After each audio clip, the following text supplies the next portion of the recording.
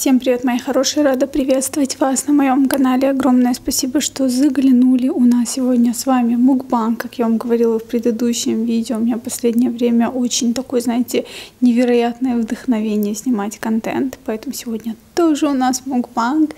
Я купила скумбрию. Она уже была копченая. Мне так нравится больше, чем заморачиваться, самой коптить и все дела. Красный лук кольцем вместе с рыбкой получается просто обалденно. Болгарский перец, соус тартар. В последнее время я все кушаю с этим соусом. Он мне настолько зашел. И знаете, с чего это началось? Я купила три корочки. И там внутри был уже соус тартар. И Господи, что же это такое? Сегодня прям все из рук валится. В общем, вместе а, с тремя корочками сухариками был соус тартар в небольшом таком, в небольшой такой упаковочке, как обычно бывает а, в Макдональдсе. И вот после этого я подсела, и мне настолько нравится тартар, я все, что угодно макаю туда. Кто кушает, вам также приятного аппетита. А я уже приступаю. Сказать, что я очень голодная, если честно, нет. Не такая уж голодная. Просто вчера вечером увидела мукбанк одной девушки. Именно с селедкой. Вот ночью уснуть не могу. Кушать мы с вами будем аккуратно, потому что в прошлый раз я подавилась косточкой. Поэтому, как я люблю, со скоростью света кушать мы не будем. Несколько дней не было Твиксика дома. Ну, как несколько. Когда я приехала из деревни, маму и Твиксика я оставила в деревне. И вы знаете, к домашним животным настолько ты прикипаешь, это просто член семьи. Настолько скучно без него. А время так быстро летит. Вроде бы казалось, недавно его приютила, а скоро 4 года будет. В общем, брат приезжал из деревни. Спросил меня, Говорит, что тебе привезти? Ну, он, естественно, имел в виду там фрукты, ягоды. Сейчас же как раз там сезон. Я говорю, слушай, привези мне моего дурачка.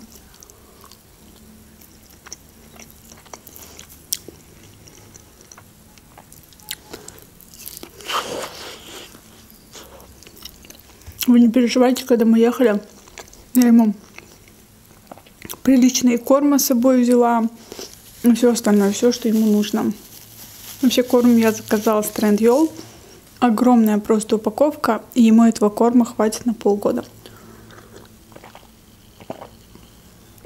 Это как раз таки тот бренд, который прописал ему врач, когда у него были проблемы со здоровьем.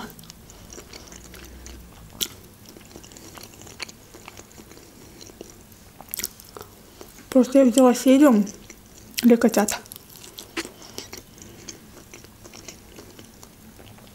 Позавчера вечером читаю комментарии. Я, кстати, в последнее время, признаюсь вам честно, делаю это предельно редко. И у меня в аналитике отображаются не только те комментарии, которые, например, под последним видео. А у меня на канале 1800 видео. Вот в аналитике я вижу все комментарии. Под старым одним из мукбанков девушка мне пишет комментарий. Сейчас у меня руки жирные, дословно читать не буду. Суть комментария заключалась в том, что типа я так хвалю свою жизнь, все так прекрасно, всегда нахваливаю блогер, мотивирую других – почему же ты никогда не рассказываешь про минусы блогинга? Хочешь сказать, что их нет? И вы знаете, я не могу сказать, что я показываю какую-то свою luxury жизнь. У меня нет супер дорогих каких-то сумок там. Не знаю, я не отдыхаю на последних курортах. Мне кажется, самая обычная, обыденная жизнь. Если я вам буду рассказывать про минусы блогинга, очень многие люди вот прям сто процентов вам говорю, поймут действительно меня неправильно.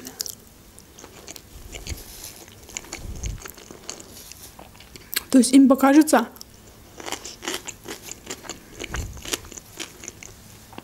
что я в какой-то степени боюсь конкуренции. Именно поэтому отговариваю людей заниматься тем же самым, чем занимаюсь я. Если честно, я никогда конкуренции не боялась. Мне кажется, в каждой нише у каждого человека есть свое место. Если выбирать сферы, где вообще нету конкуренции,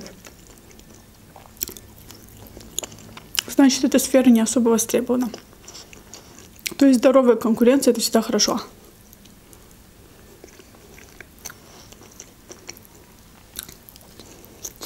Я решила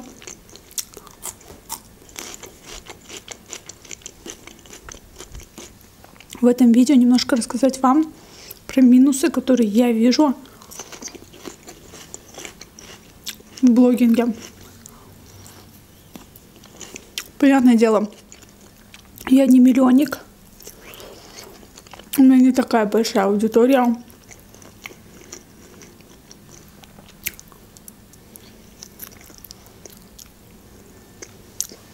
Но все равно я могу анализировать видеть ситуацию у других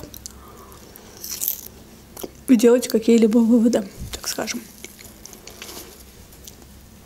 Я считаю, что самый главный минус это то, что в большинстве случаев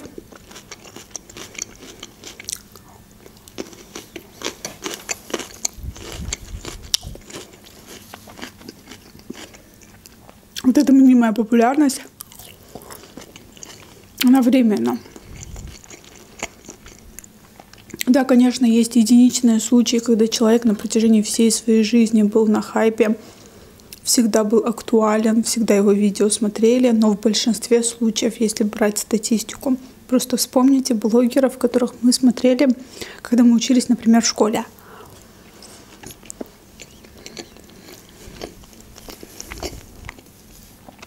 Все они так или иначе куда-то делись.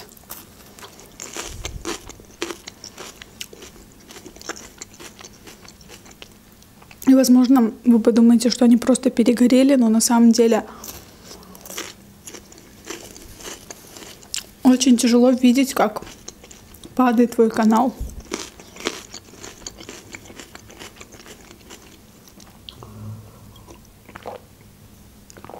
Ты снимаешь контент, зарабатываешь деньги, и ты думаешь, что это будет всегда.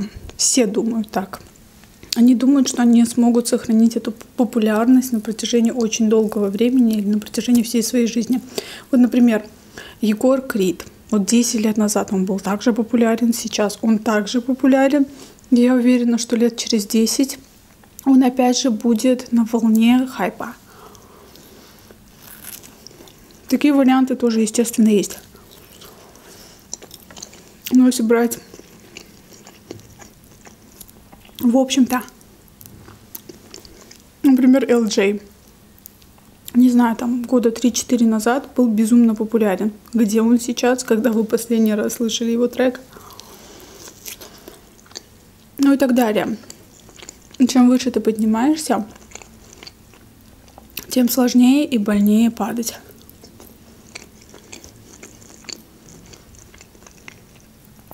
Человек, который увидел, как легко зарабатываются деньги, ему уже сложно идти на обычную работу и работать как среднестатистический человек.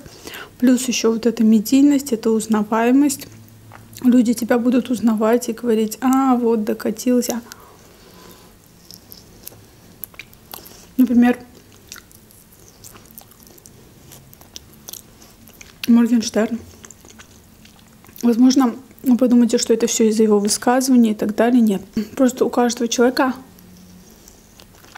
есть пик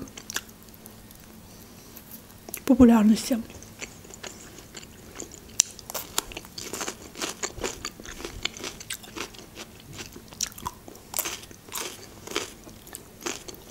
Особенно если это популярность и деньги уронила хвостик. Твик сюда. Ну и тут снизу тоже столик. На столик упал, не переживайте. В общем, если ребенок сталкивается с этим совсем в период созревания и не осознает вообще, что происходит, это еще больнее. Я когда была мелкая,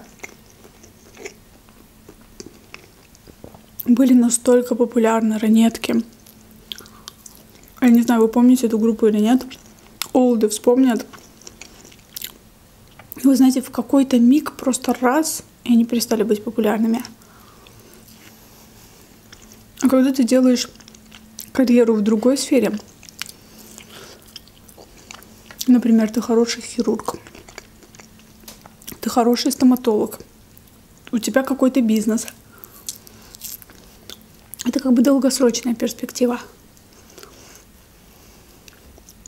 Следующий минус – это узнаваемость. И вы, наверное, сейчас подумаете, что за бред. Это же плюс, это же так классно.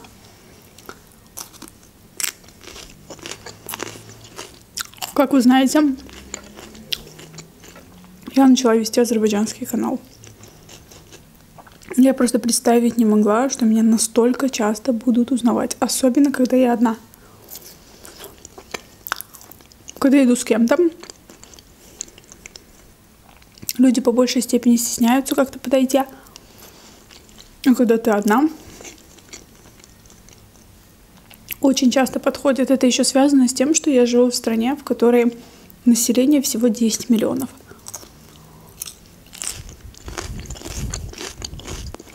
Если здесь набрать, например, миллион подписчиков, ты просто не выйдешь на улицу. Точнее, ты выйдешь, просто каждый десятый тебя будет узнавать.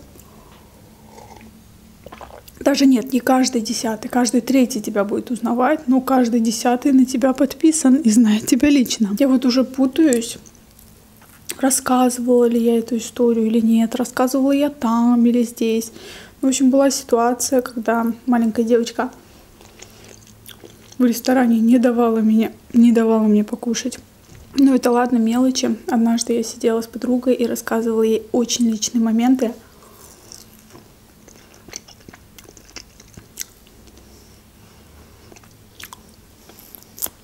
В ресторане столики были расположены безумно близко друг к другу.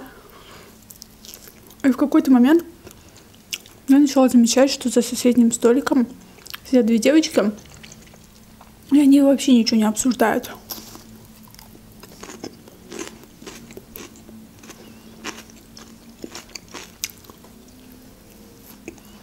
Это оказались мои подписчицы.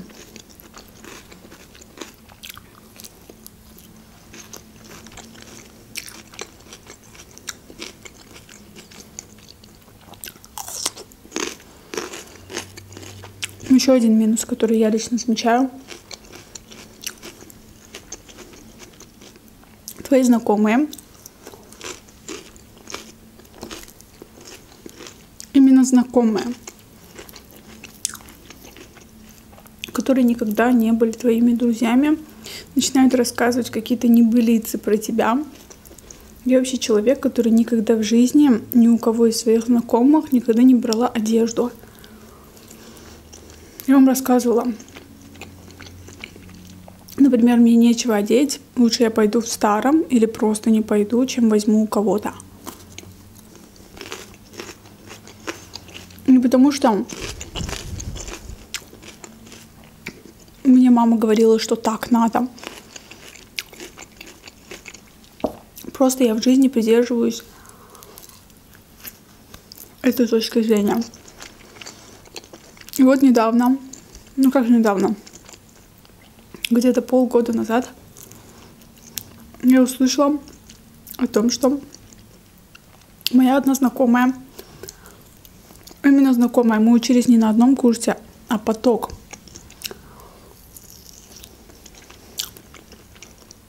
До этого была такая ситуация, что другая знакомая просто говорила, что мы общались, хотя мы не общались. А это говорит, что типа я у нее брала одежду носить, когда училась в универе.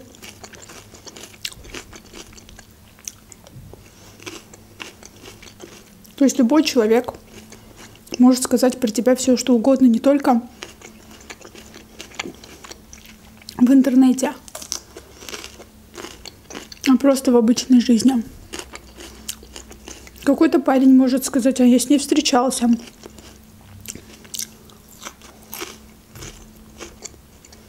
И это окей, если такое было. Но если такого не было, Просто человек хочет как-то выпендриться. Это очень обидно.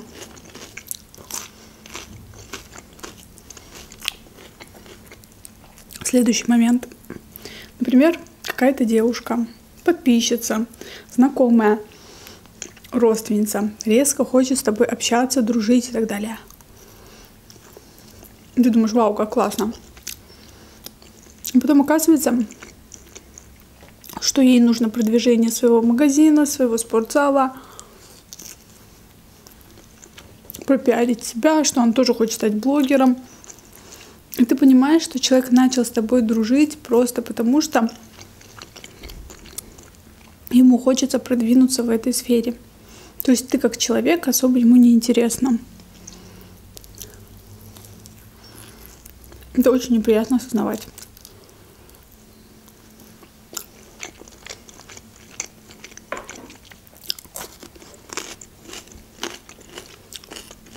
Просто когда я думаю, что я не такой большой блогер,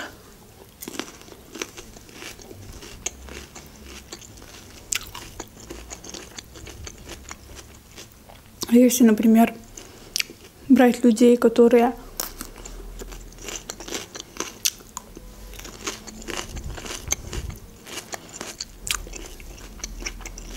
имеют огромную популярность, Например, некоторые думают, а почему Селена Гомес одна? Почему она в депрессии? Почему ей плохо? Да, возможно, обычные люди совершенно не поймут ее. Я в какой-то степени, если честно, понимаю. Если, например, обычная девушка в Америке может просто зайти на Тиндер и с кем-то познакомиться, когда ты плюс-минус какая-то хоть а, медийная личность, ты уже это сделать не сможешь. Потому что ты просто не знаешь, на кого ты нарвешься. Это касается и отношений, это касается и просто людей.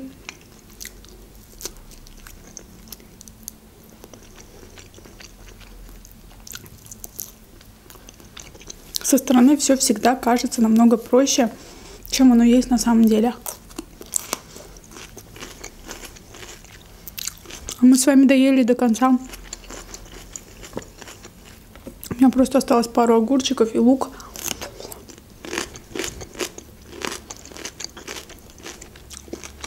Я была не голодная, но мы с вами съели целую рыбку, и я так и не рассказала.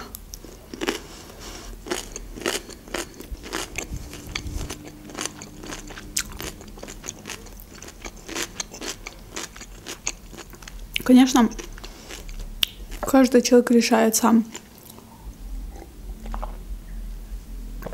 У любой работы, у любой профессии есть свои минусы, есть свои плюсы и так далее. Когда у меня в голове появляется мысль, что через 3-4 года, возможно, когда-нибудь у меня, например, будет миллион подписчиков, именно в Ютубе, потому что в Инстаграме, Инстаграм у меня развивается очень слабо. Так было всегда. Вот в такие моменты я думаю, блин, а оно мне надо. Так что как-то так задумайтесь об этом на досуге. Надеюсь, что мое видео для вас было полезным и интересным. Если это было так, обязательно подписывайтесь. Давайте добьем мне 400 тысяч. Всех люблю, целую. С вами была Айка. Пока.